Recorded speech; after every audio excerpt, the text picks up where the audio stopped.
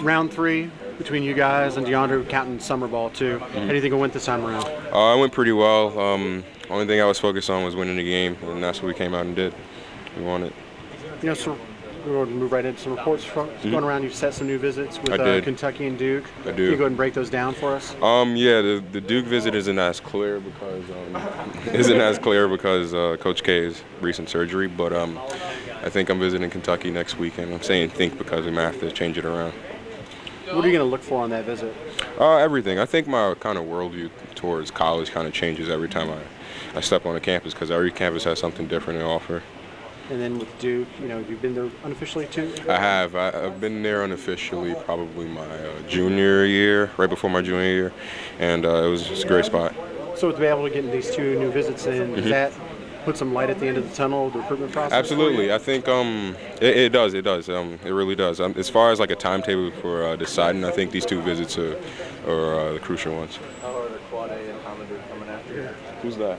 no, um, they're, they're coming after me, after me pretty hard. I'm, I'm going to use uh, Hami and as, as pretty much as like an informant because he, he's there and he knows what it's really like because he's going straight out of, literally straight out of high school to, to start mid-season. So um, I'm going to use him as a resource as best as possible. How soon after he committed or before he committed did he text you and say, come on down or whatever?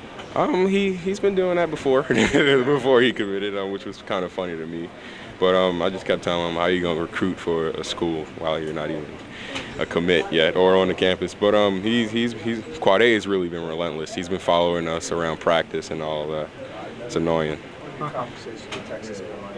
Uh, same thing. They're they're more concerned about me personal, how I'm kind of dealing with things, and, and I love them for it. Anyone for Duke putting that kind of pressure on you? Yeah, Coach Capel. I mean, he's had his hands full because he's, you know, the interim head coach for Duke right now. But he had his hands full, but I'm still in contact with him, and I talk to him every now and then. What do you think after, like you say, the worldview changes each time around? Mm-hmm. After you finish up these visits, what do you think will uh, kind of put you over the top of things? Uh, just a matter of seeing myself. Like, do I see myself as a student at, at X and O University? And um, just a matter of how comfortable I feel with a place and how comfortable my family feels with a place. Are you thinking after the McDonald's game or that? Or Uh, yeah, definitely. Probably towards the end of um, end of March, early April, some sometime then. Kind of want to get home for spring break and sort of, you know, have, have do visits. Well, actually, our spring break is March, and um, that's the tournament. But kind of want to do visits with the final visits with the coaches after that, and, and sort of make a decision after that. where do things stand with Harvard? Um, actually, uh, I'm then decided not to move forward with Harvard. Um, although I think each school that I'm looking at is, is to me is the best in something that they do, and Harvard is, is, is arguably the best school ever.